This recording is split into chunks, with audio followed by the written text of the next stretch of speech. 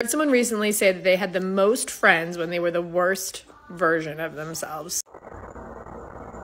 This is the truth. When I was the worst version of myself, I used to be able to call up at least 10 to 20 people and say, hey, come over, let's hang out, or let's go out to dinner. Not realizing friends sometimes categorize you. Oh, sometimes you're the ugly friend. That's why they want to hang out with you. Sometimes you're the poor friend that makes them look good. Sometimes you're the friend that you just want to dump on an energy vamp off of.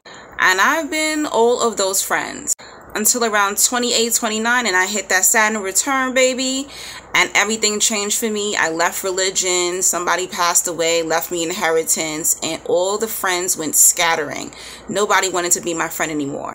When I stopped group thinking, I said I didn't care if I got married or not. I didn't care if I had children or not. Oh, yeah, they didn't want to be my friend anymore. And I'm not gonna front, I side eye people who have like an entourage of friends that they've known since they were kids. Now, maybe one or two, but to me, that's a sign. Are you really spiritually advancing? Are you growing? Are you healing? And it's so much easier for people to be around broken people because they make them feel good and they feel okay about their shit and them not advancing and them not healing, them not doing the work. And I've literally had friends say to me, Oh, don't lose too much weight oh no, don't do that. That's too expensive.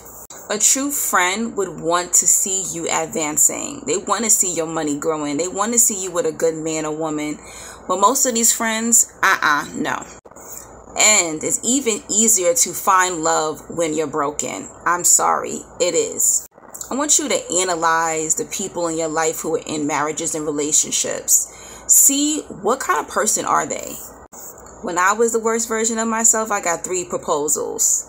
I had a man one time show up at my job and I didn't even give him any yet.